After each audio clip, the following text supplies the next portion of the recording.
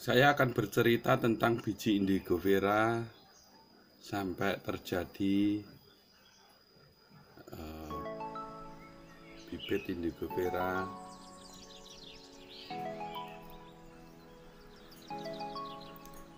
Ini biji indigo vera.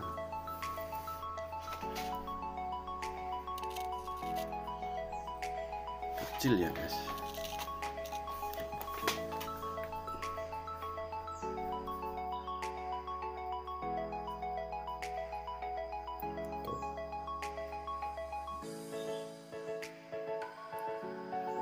bentuk biji indigo vera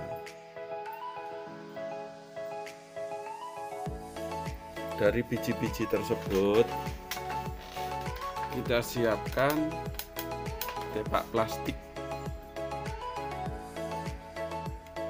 Tepak plastik di situ kita isi media tanah yang dicampur dengan merambut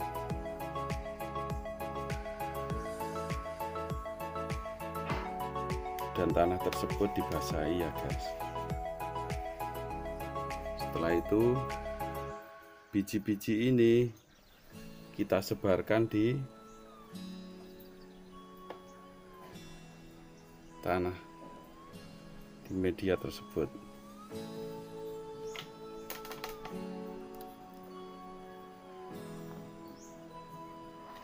setelah itu kita tutup.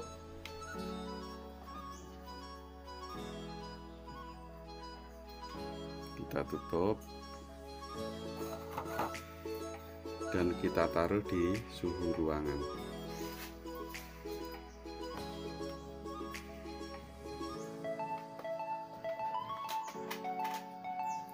Setelah berumur 5 atau 7 hari seperti ini. Dia sudah tumbuh kalau sudah tumbuh seperti ini kita buka ya guys. Agar tumbuhan ini nanti bisa berdiri tegak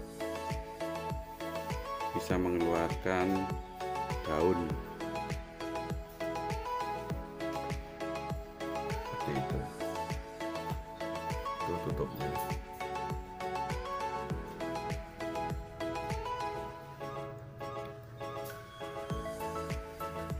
dan nanti kalau daun yang sudah tinggi sudah besar tumbuhannya sudah agak tinggi kira-kira ini ya guys.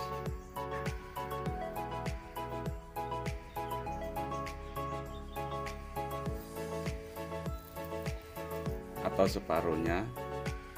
Nanti kita cabut satu demi satu.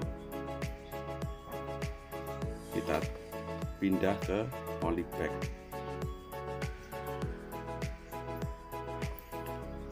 dan biji-biji indigo vera ini tumbuhnya tidak bersamaan ya karena biji tersebut itu juga ada yang kecil ada yang subur ada yang kurang. Itu nanti ketika ini nanti sudah berumur kira-kira 15 hari. Biji-biji yang belum berkecambah nanti dia akan juga mulai berkecambah dan hidup seperti ini juga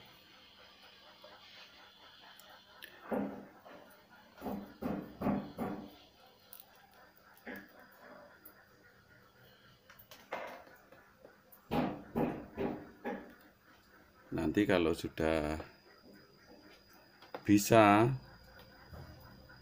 kalau sudah bisa maka kita sediakan yang tempat yang besar ya guys. Seperti ini kita sediakan bedengan yang besar lagi. Biji-biji ini mulai tumbuh seperti itu.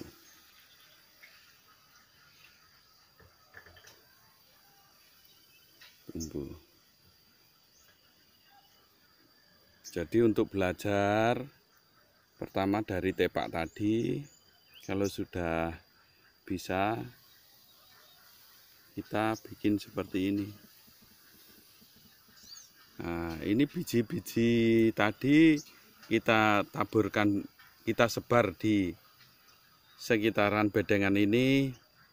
Terus kita tutup ya guys. Kita tutup pakai plastik atau bisa juga pakai sak lah. Pokoknya ditutup ditaruh di suhu ruangan.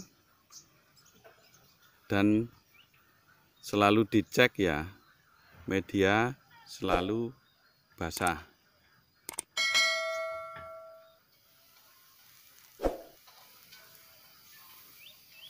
setelah ini nanti ada yang tinggi kita cabut kita masukkan ke polybag.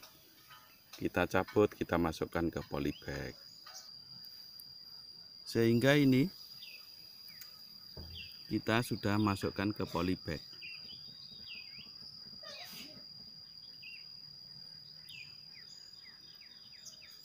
Dan tunggu ya guys nanti kalau sudah tanaman ini sudah mulai tinggi.